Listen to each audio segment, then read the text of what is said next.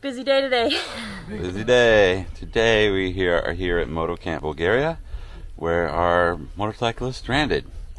Uh, and it's stranded because we had a wire loom catch fire. Uh, basically, a large section of 10 gauge wire between the positive lead and the ABS computer shorted on the frame and ended up catching fire Yep. and burning a lot of our wire loom.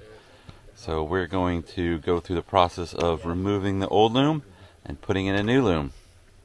It's going to be good times. Good times. Enjoy.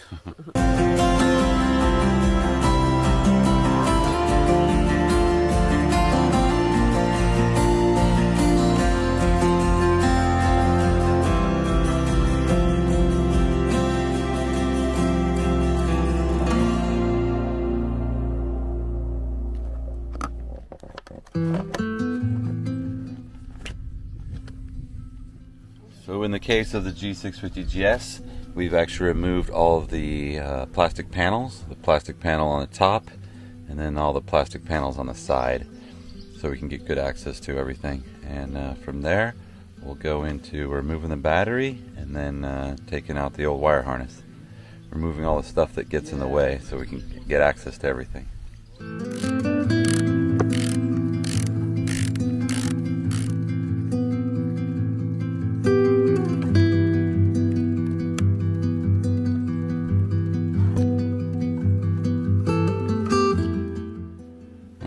The two bikes next to each other. We're going to basically use this bike to determine where we're going to run all the wires as an example.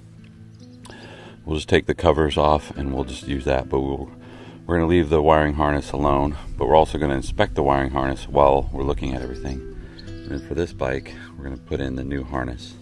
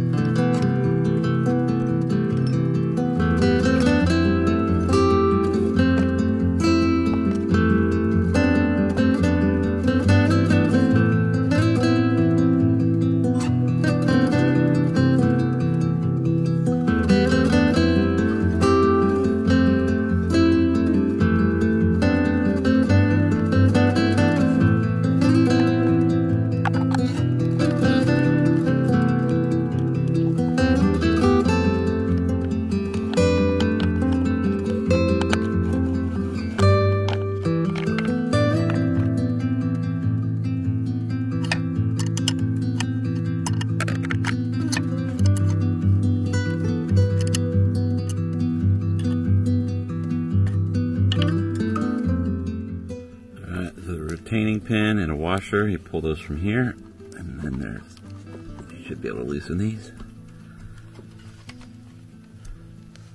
And there's your oil reservoir. And then we're to tie it up to the handlebars so it's supported.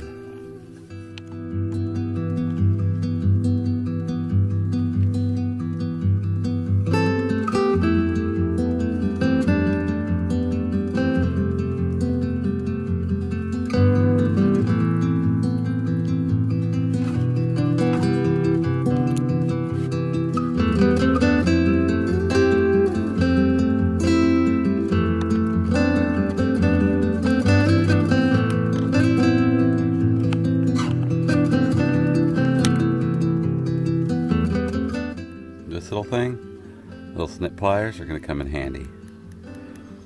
So uh, we've already actually pulled this wire harness out once already. This wire, wire harness has been rebuilt. We replaced the burnt section with the wire and um, we've actually put it in. So what you're seeing here is not the original harness installation. So this particular harness is going to have a lot less zip ties in it because we just used minimal zip ties in order to troubleshoot the old harness and make sure we didn't have any other electrical faults. So um.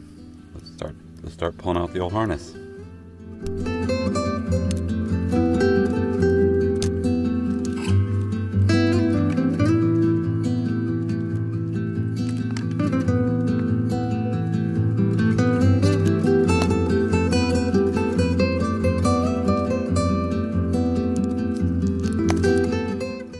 So most of these connectors actually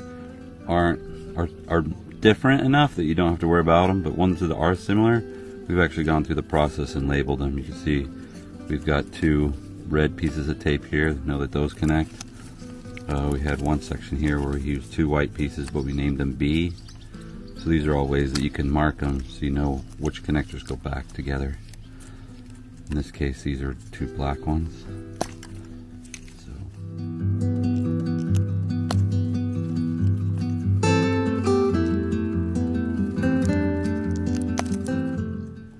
Should have four connectors removed at the very top of this uh, fuse panel. So we go. Yeah, we should have these. And then also this one here. Uh, but that actually comes with the new wire bundle. So you don't have to worry about pulling that one. Alright, to make things easier, we're going to pull these two screws. There's one screw on each side. And that'll allow you to uh, take this whole fuse section out.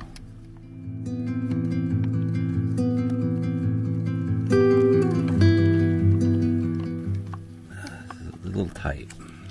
It's gonna take some uh, take some gentle prying to get these this section out.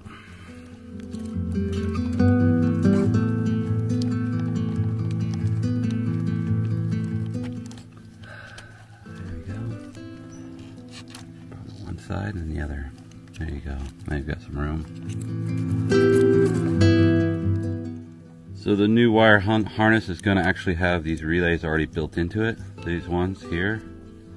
The only thing you have to actually pull and replace um, are these these connectors here. So first we'll start with these three, and then you'll have to pull these three on this side. These ones are pretty obvious, can't mess them up. That's a two pin. This one is a three pin, and of course the next one is a four pin fairly simple. And then we'll move to these ones.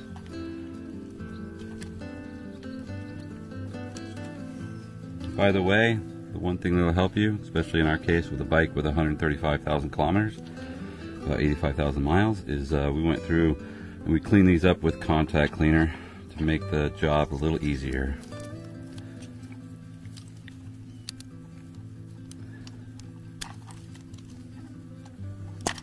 Go. And this all this wiring harness here is actually going to stay in the bike. So this is not part of the main wiring harness. This is an auxiliary harness that connects to the main wiring harness. And then you'll have all this. Now this is the tricky part, is uh, getting this out from underneath here. As you can see, we have a huge reservoir here. That's not going, this is the uh, reservoir for the um, uh, anti-coolant for the antifreeze for the radiator. So we're gonna have to actually pull that as well. So this is the reservoir for the radiator. We're just gonna pull this and then uh, a little bit of tug on it. It should come right out. It's a little tricky to get back in but it's much easier to get out. There you go. When you put it back in this little tab has to fit all the way in a little hole back there. So uh, this plastic tray has to come out right here and the two bolts are on the front side so we'll pull those next.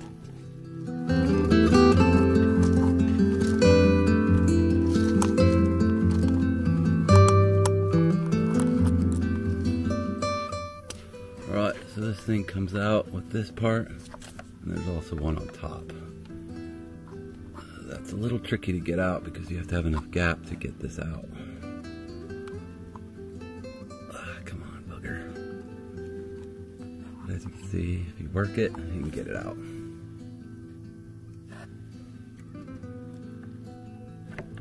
There we go. All right. This one's a little more tricky. So this one, this one might be a little easier to pull it out through the actual top and move it over because there's a um, there's an ABS brake line that goes between here. There you go, got it out. So now we're gonna pull this little tray out. we're to pull this whole wire assembly from the top up and then just kind of slowly, slowly jimmy this so you can get this out from the bottom. It's going to be tricky. It's going to take a little bit of patience. Another easy way to do it is if you take the fan and move it out and then you won't have that little knobble to fight in the back with it. So I've also found that if you move the radiator fan over just slightly, then you have a little bit better chance of getting that tray out. Okay, it's free. Did it without moving the fan. Took a little bit of jimmying though.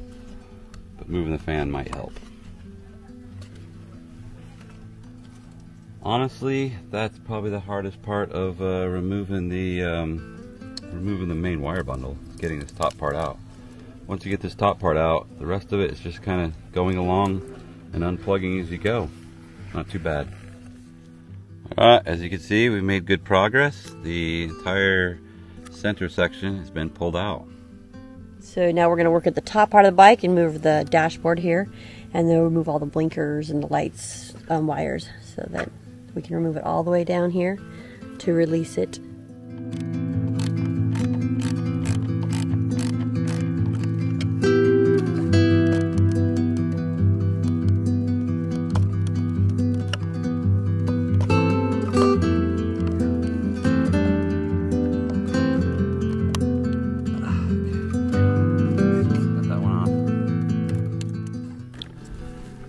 This is the three pin connector for the headlamp.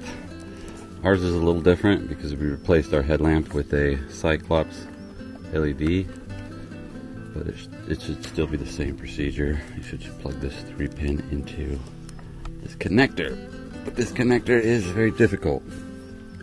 So you might have to put some contact solution in there and just gently, gently, delicately open it up with a screwdriver so you can get it off. We'll definitely clean this up later so make it easier. Alright. Ta-da! Alright, now we're to pull the turn signals. Just remove this little Torx bolt here. And once that's free, you pull this out. And the only way you can get access to this is actually to remove this cover. So that's next.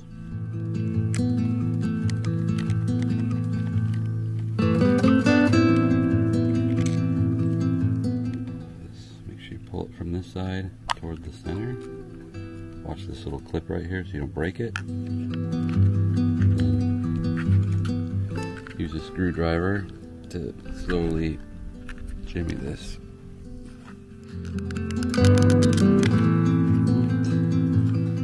You'll find there's two leads. There'll be a longer lead. The brown one will go to the outside.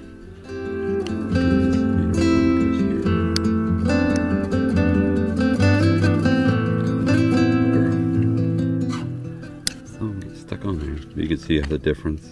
This brown one's longer. And then once that's removed, you can gently, you might straighten this one out. You can gently pull this through. Being careful to make sure that they don't get caught up in there and pulled.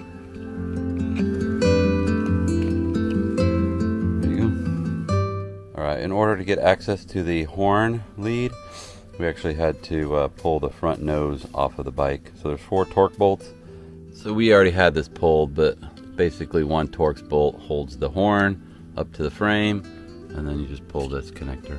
Voila. And then there'll be one more connector right here underneath this, uh, basically underneath this switch here. That's quick and easy. And that should be everything for the front. So most of the other zip ties are just standard zip ties, but there's there's this one right here that requires you to push in these little little knobs and then and then take it out. So just a little patience and you'll be able to get it out.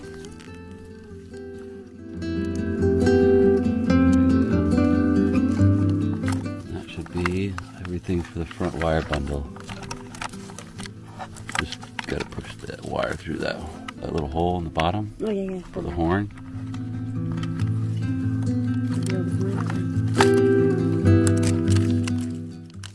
Okay, and there you go. The front portion of the wire bundle has five plugs, actually four plugs. One of them is a light bulb for your parking light, and uh, the two the two little wires for your uh, turn signals on each side. Now there's a couple more wires to the front assembly. We've already removed this from the air air section. There's this plug here, which just pops out. Then we have this one here. So we'll pull that as well. Okay. And then we trace it down. It looks like one to the, uh, the fil- or the water, the water temperature gauge. There you go. Looks like the high, high temperature sensor. And that's all those sections. Okay, so we'll just kind of carefully pull it all through, to the center portion.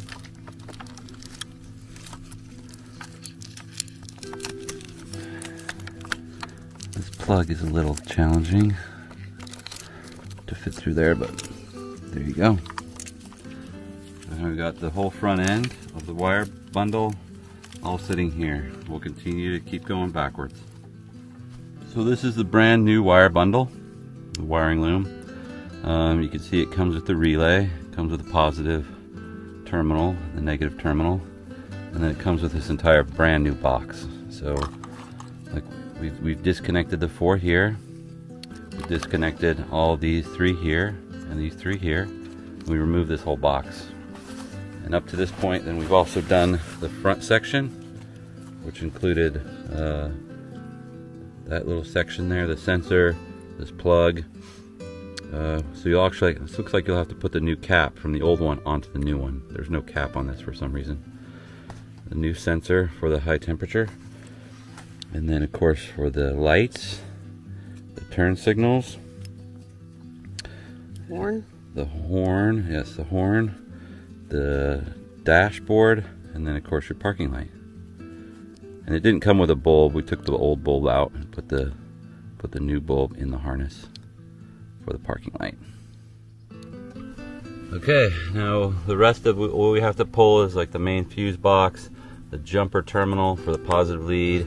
We've got the the ABS computer, um, the starter motor, some other sensors and things. We'll be pulling all those. And then we'll head over here to this other side, more sensors, the two coil inputs, another sensor switch, and then of course the main computer. These go to the uh, fuel pump for the fuel gauge or fuel fuel indicator and for the um, fuel pump. And then of course some more sensors here, and then uh, that's it. So this is all we have left to do now, to pull, and then we'll, uh, we'll be on our way. And check out the fuse box. It even comes with brand new fuses. we have spares. Yeah. Alright, to make things a lot easier, it's best to remove this brace. Actually, I don't think you can even pull it without pulling this brace. So, there's four uh, little Torx bolts that connect the brace. We'll remove those.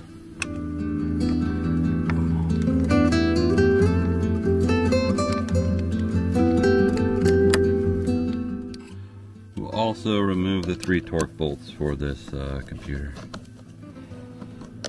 hold down the computer.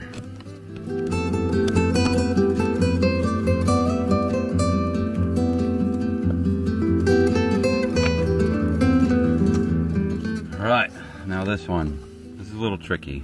So, the best thing to do is put a little flat tip in there and gently work this until you get this cover off. Alright, it's going to take some patience. Sometimes they get stuck and gunked up, especially when you're riding through lots and lots of dirt. But as, as you pull as you slow, as you pull it up, it should start to release. So you just take it take it nice and easy. You'll see as you pull it, the whole thing will kind kind of pop up.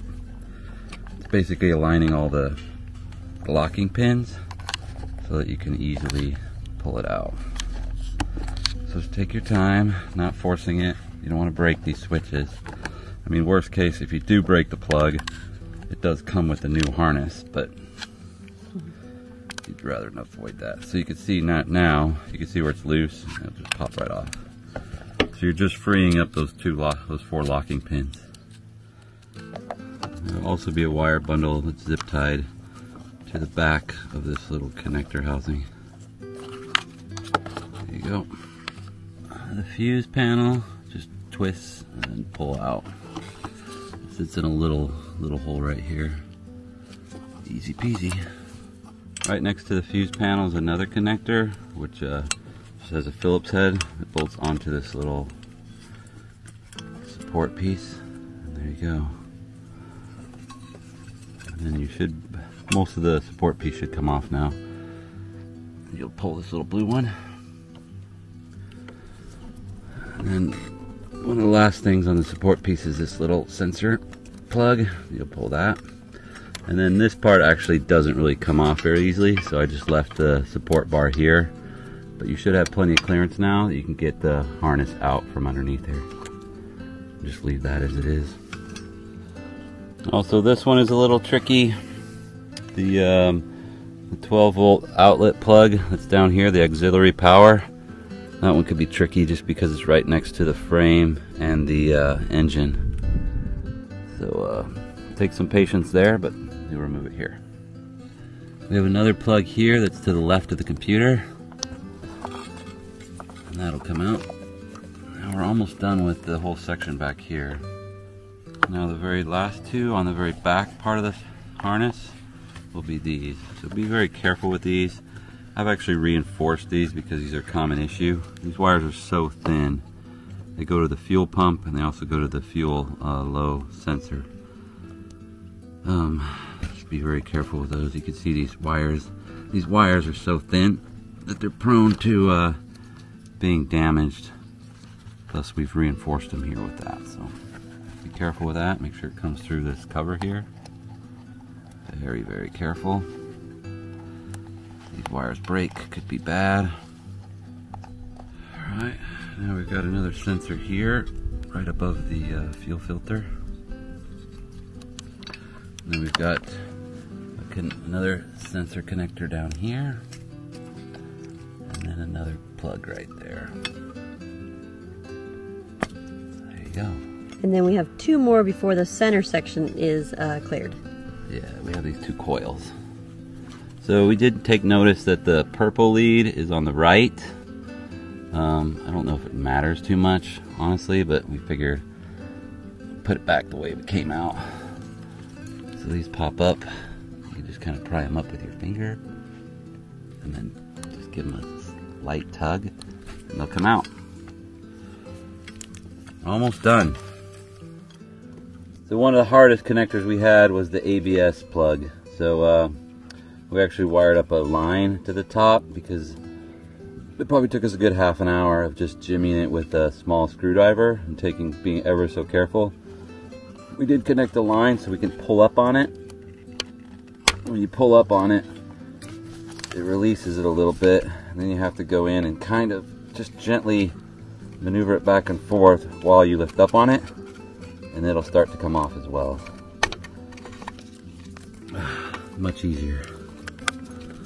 This one was one of the hardest plugs we had to do though. Yeah. For sure. We'll remove this little cover because there's a couple connectors behind here. There's two of these uh, torque Torx bolts. Alright, that'll give you access to looks like three plugs. They're all different, so you don't have to label them. Just make sure you one. These ones can be pretty challenging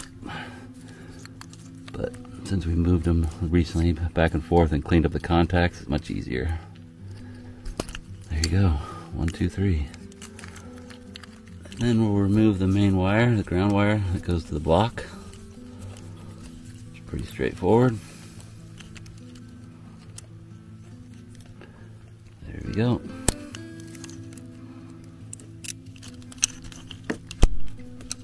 Okay, and then down here, underneath the uh, regulator will be a, a, connector and then this one sits right in here as well twist. So you disconnect both of those. Let's see. One. Come on. This one's hard. Yeah, they are pretty. The tabs hold them on pretty good. I guess that's the point, right? Mm-hmm. So this again, these take some patience.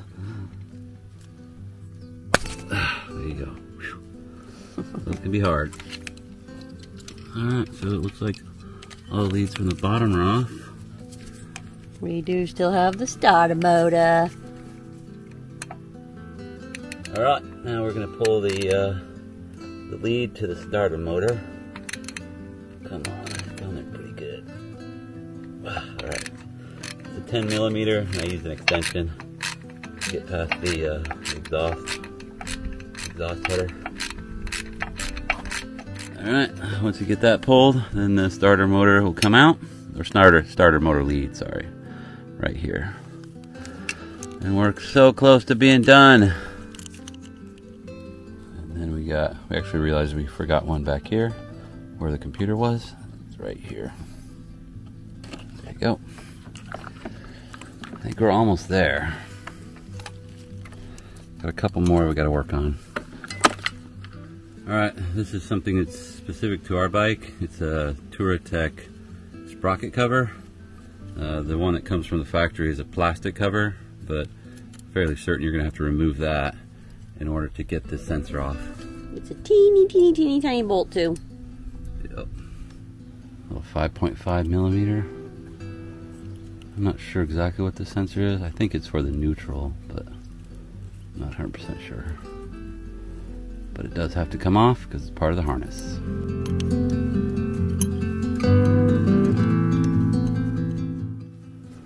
Alright, so the next thing is uh, this to come out. It's going to make your job drastically easier if you remove this attachment here for the rear shock.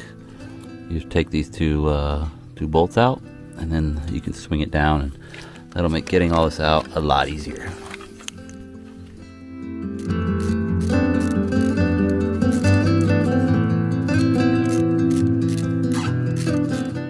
Ready? Yep, let's take it out. I think this thing's ready to go. The trick here is just to kind of take them one at a time. The biggest problem is the, the big plug for the ABS sensor. There we go. Look at that. Oh, Good chicken. there you go. Oh, what a mess. Alright, in the case of our problem, um, I think what happened to our particular harness fire, it didn't, it didn't quite start a fire, but it burned through the wire.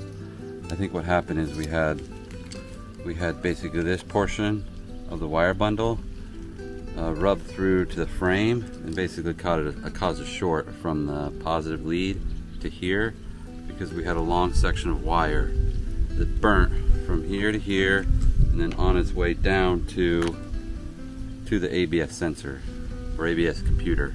Didn't quite go to the computer, it stopped about here, but we had a good section of wire that burned from here to the positive lead. So you can see about a foot and a half of wire burned. And then that wire, all the plastic melted to the other wires.